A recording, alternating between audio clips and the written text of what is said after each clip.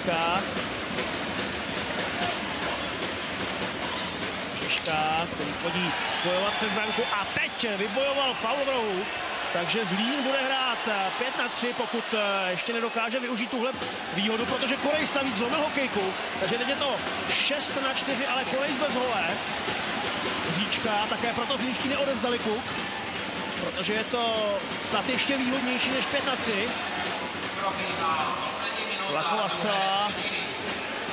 Ale Vlach tak trochu v nouzi míří do vlastní branky a je to 5-1 pro brněnskou kometu, tak tohle je... To, to je, to člověk nevymyslí, nenapíše Ne. a opravdu, a co, co se může stát a jak se říká na po, i záchod spadne.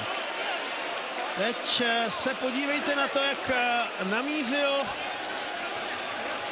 přes celé hřiště naprosto neomylně na střed branky. On se ani nedíval, ty chtěl hrát eh, na beka, na modrou čáru, tam v tu chvíli nikdo nebyl a tady to ještě jednou můžeme vidět, že to hrál na modrou čáru. Na beka. Možná se do toho připletla i ta zlomená hokejka, ale Roman Vlach trefil přesně střed vlastní brány a tenhle gol To bude hodně zajímavé ještě. ven. Naražení, Kdo vlastně naražení. bude, platí. Trojka. kdo bude autor gólu. No, kdo se dotkl poslední z hráčů Brna Puku, to bychom museli hledat hodně zpátky, protože Tam byl golman podle mě. tam uh, možná Čiliak, ano. Ano, čili jak to vlastně No, ale vyrazil ten se ráno. nepíše, píše se jenom jeden a to bude ten, kdo se dotkl. Čili jak se píše. Čili jak Čiliak, No, Čiliak gol. Gol. Takže Marek Čiliak se také zapisuje do historie Tipsport Ale teď- Extraligy, protože další brankař, který dokázal střelit branku, Ale, go- ale no, v podstatě.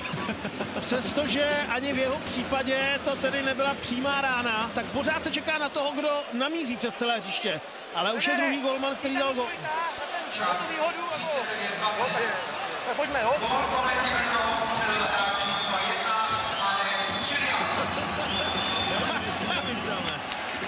A teď je i přes tu masku vidět, jak se Čiliak usmívá, protože tohle bude Tady vidíme jeho, zátěž. tohle je no. jeho poslední Přesně. zákrok, ano. Já ho hodím.